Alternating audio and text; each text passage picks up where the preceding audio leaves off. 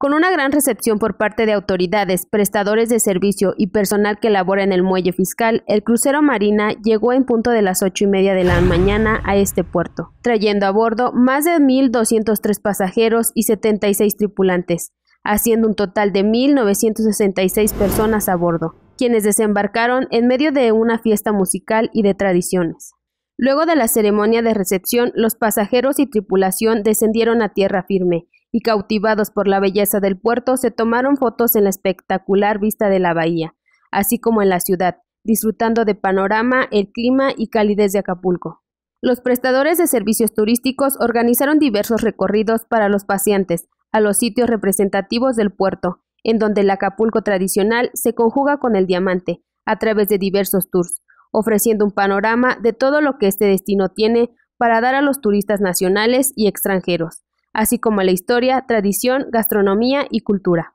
Los pasajeros provenientes de Cabo San Lucas permanecerán en el puerto por varias horas, lo que les dará la oportunidad de acercarse al calor y costumbres que ofrece Acapulco y que se reflejan en su infraestructura turística, museos, sitios históricos y, por supuesto, en sus playas. Asimismo, generan una importante derrama económica que es de gran beneficio para el movimiento local. El Marina parte esta tarde con rumbo a Puerto Quetzal, en Guatemala, para mañana se espera el arribo de otros cruceros.